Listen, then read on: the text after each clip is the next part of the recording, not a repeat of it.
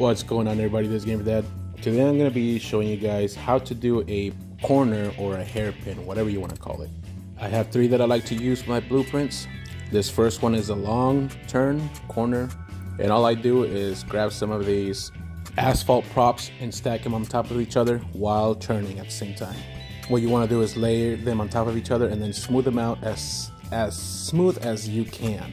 Now it's never going to be perfect, but you always want to run the card through, make sure that it's pretty smooth and you know to your liking.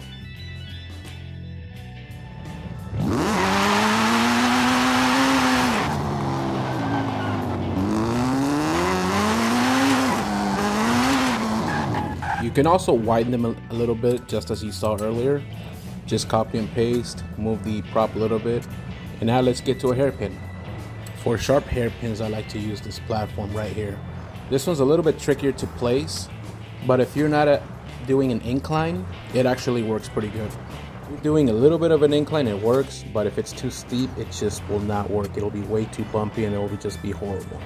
It's pretty much the same thing all over again, just copy and paste or layer them on top of each other and make them as smooth as possible. It's a lot harder than it looks, it just takes some practice. As you can see here, I keep moving them up and down, up and down until I get it to where I want them. If you can't get it right away, don't be discouraged. Just keep doing it. Replace them if you need to. Move them around. You'll get it.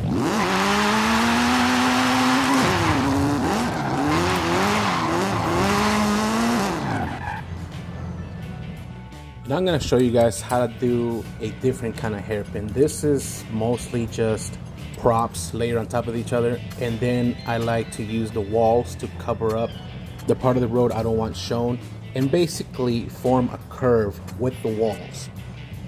Now this one based on how you layer these props down you can actually form a bit of an incline.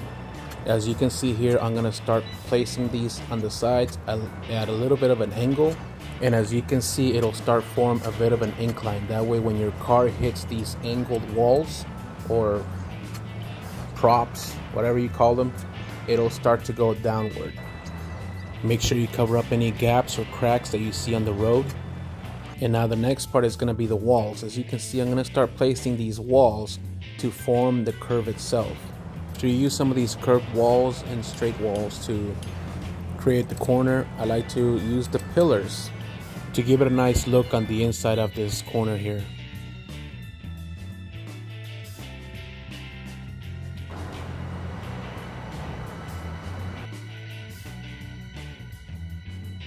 Now right here, I don't know what I was thinking. There's a weird placement for these walls, but um, I'm just gonna go with it.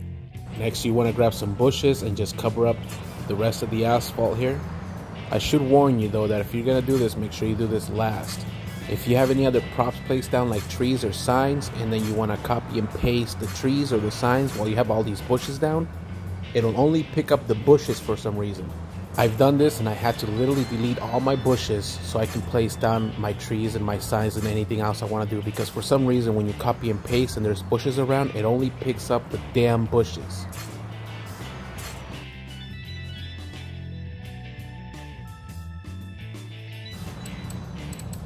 Now you don't have to do this in between hairpins but I like to do it sometimes just grab a tree and flip it upside down. It just helps with the visibility so you can't see what's on the other side if you want to do blind corners or stuff like that.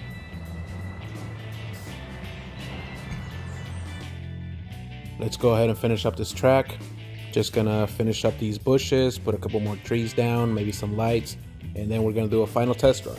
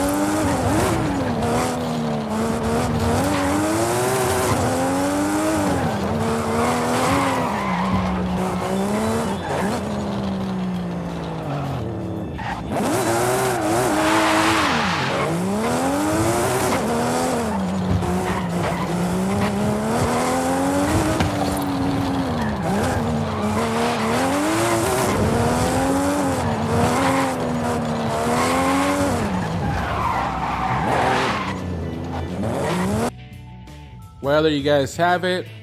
That is how I make my hairpin turns or the corners for some of these touge tracks I build, blueprints. This could work for any kind of track that you're building. I hope this helped anybody out there trying to make some of these corners.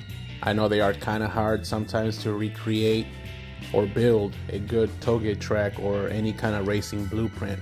If you enjoyed the video, please give it a thumbs up. If it helped you out in any way, give it a thumbs up. Subscribe, all that good stuff. Thank you for watching my video. Have a great day.